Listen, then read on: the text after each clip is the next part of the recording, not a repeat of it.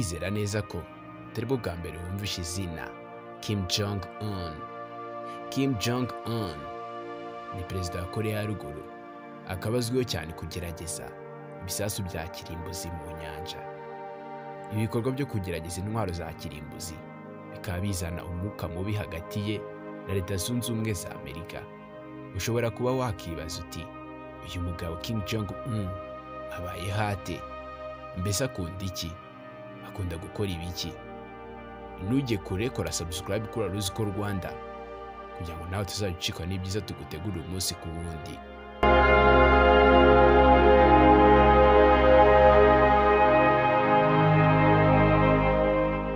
Abantu benshi bakunda kwibaza ubuzima bakuru b'ibihugu babayeho ndetse n'uko buba bumeze n'ikigero babuhenzeho Kim Jong Un ni umwe mu bayobozi bazwiho byinshi ku isi.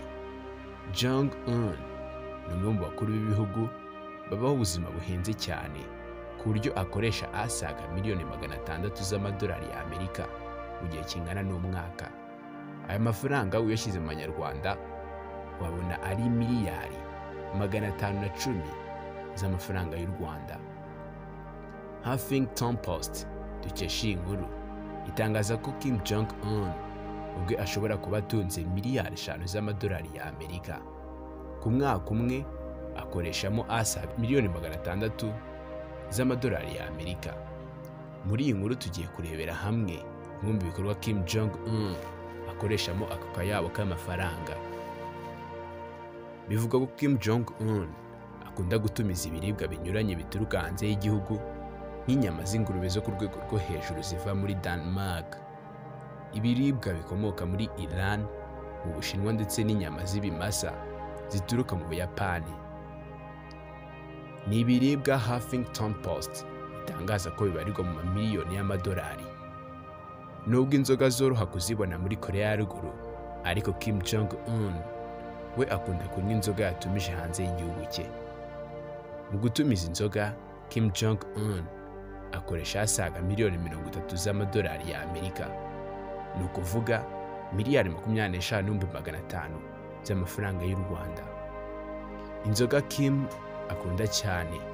Ni whisky na konyage ariko atari konyage iyo ari yo yose kuko we akunda konyage zenze cyane nka konyage Hennessy amacupa y'inzoga zo ku rwego rwa mbere za konyage Hennessy ashobora kuba ageze ku bihumbi bibiri n'ijana na mirongo ine na bitanu y'amadolari y'Amerika. Kim Jong Un ni umwe mu bantu bakunda cyane umukino wa basketball. Akaba ari na yo mpamvu afitanye umubano ukomeye na Dennis Rodman wahoze ukina uno mukino. Dennis Rodman ni umwe mu byamamare bikunda gusura cyane Korea ya ruguru. Iyo ibyamamare ngo binyuranye bisuye Korea ya ruguru. Abizimanira inzoga zihenze n'ibiryo aba yatumije hanze. Ubwo Dennis Rodman yari avuye muri Korea ya ruguru gusura Kim Jong Un yatangaje ko ari umuntu nk'abandi kandi wizihirwa. Dennis Rodman yavuze ko abantu benshi bakunda kuvuga ibibi gusa kuri Korea ya ruguru ariko we ngo yahabonye ibyiza ndetse n'igihugu cyiza.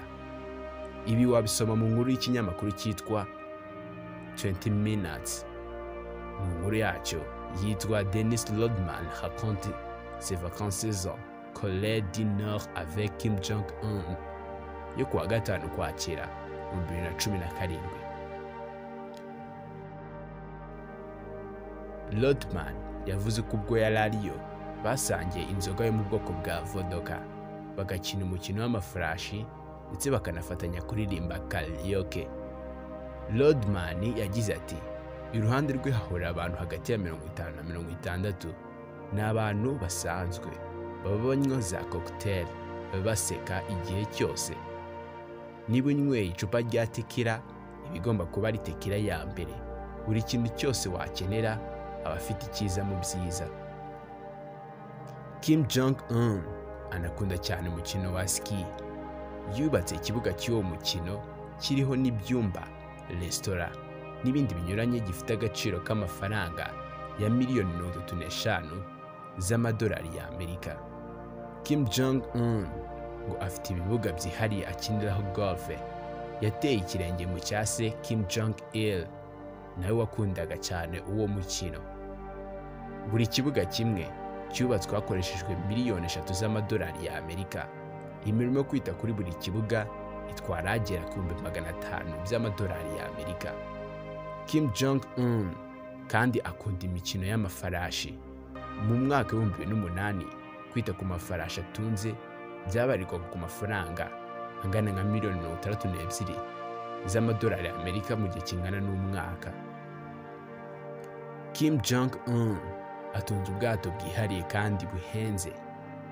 Denis rodman inshuti y'akadasohoka ya kim jong un yatangaje ko ubwo bwato bureshya na metero mirongo itandatu bukaba bufite agaciro ka miliyoni umunani z'amadolari ya amerika. Ngo kandi kim jong un akunda kureba filime cyane ku buryo yubakishije icyumba cyihariye azireberamo gishobora kujyamo abasaga igihumbi. Nubwo bitemewe kuzana filime muri korea ya ruguru zivuye hanze yayo kim jong un we afite dvd na za filime zibarirwa ku bihumbi makumyabiri.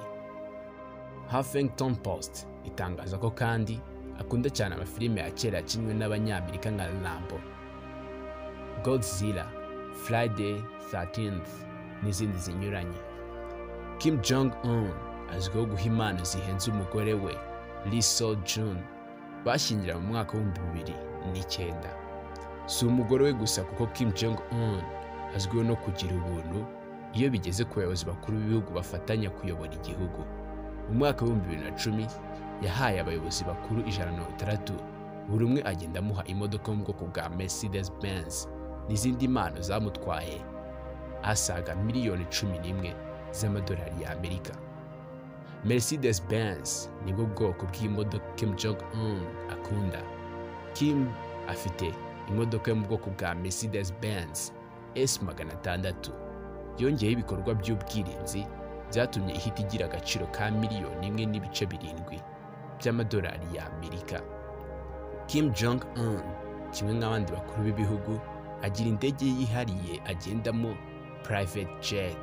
Ibyo ariko ntibihagije kuko yasanze atagomba kugenda urugendo rurerure ajya kurira indege.